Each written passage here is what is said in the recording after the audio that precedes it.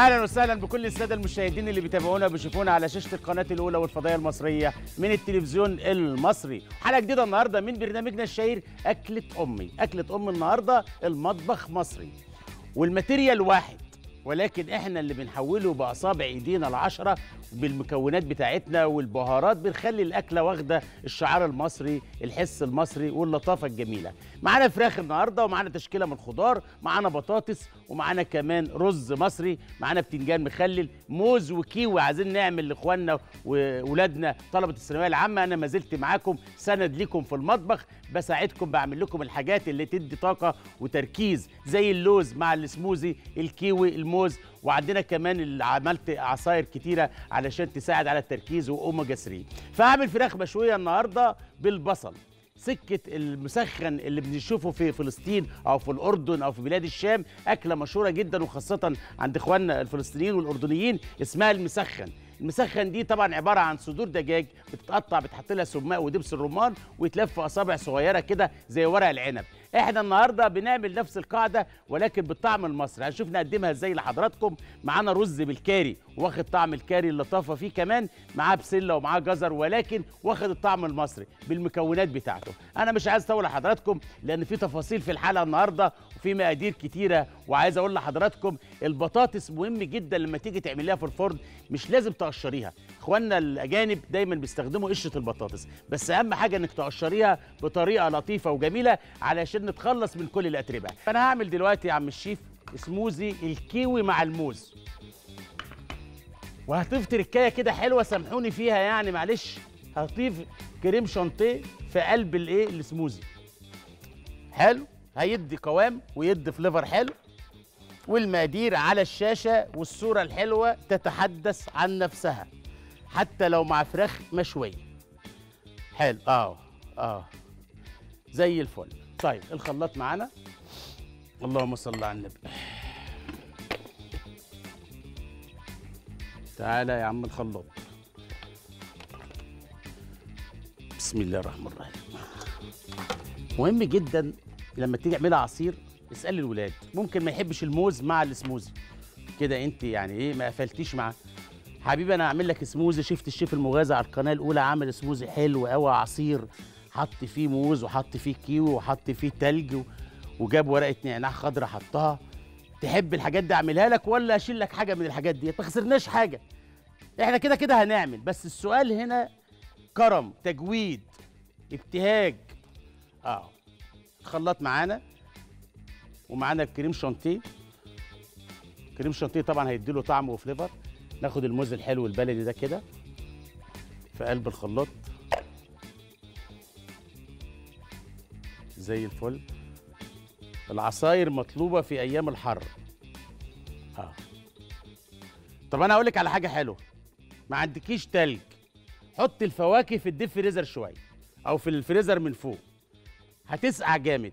كده أنت عملتها مج... آه سموزي عادي بطريقة غير مباشرة يعني. حلو الكلام. برضه ده يعني إيه؟ اقتراح مني. مقبول أو غير مقبول. نحط الكيوي.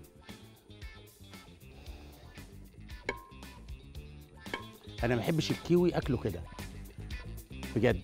يعني المدام تعمله لي مع صوص شوكولا آه صوص اللوتس آه صوص عسل آه سكر وتحط عليه. إنما آكل الكيوي كده ده بالنسبة لي أنا دي يعني جريمة.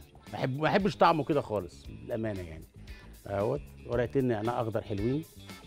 أشربه مع موز زي ده كده. حلو. معانا كريم شانتيه. ناخد الكريم شانتيه ده نسقطه في قلبي. لازم كريم شانتيه اختياري جديد يعني تغيير. آه. إحنا بنقول المطبخ له دستور وله قاعدة. آه. ينزل بالقوام ده كده يا ويلي يا ويلي يا ويلي يا ويلي. آه. آه. آه. آه. حلو قوي زي الفل. وشوية حليب حتى يقاوم الخلاط المقادير دي كلها. يلا.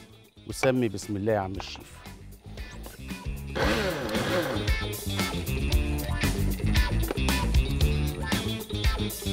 تزعلنيش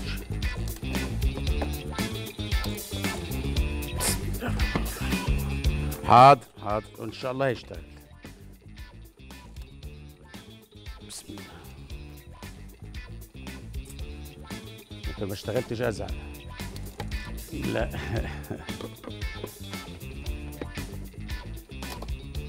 ليه ما اشتغلتش يا عم الحاج؟ قول لي بس. حاضر. طيب بسم الله الرحمن الرحيم.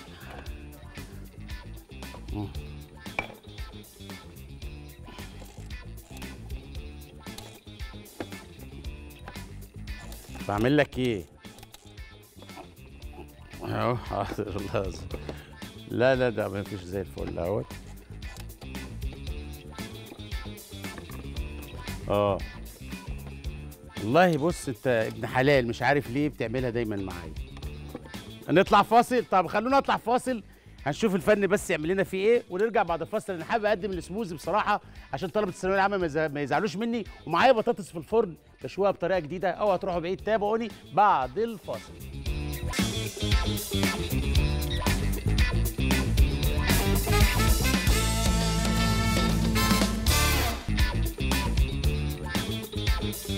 ورجعنا لحضراتكم بعد الفاصل ويا صبابين العصير زيدوا حالته ترب بيحصل ده ممكن يحصل لك في المطبخ. آه عادي إيه الحلاوة دي يا عبد الشيف؟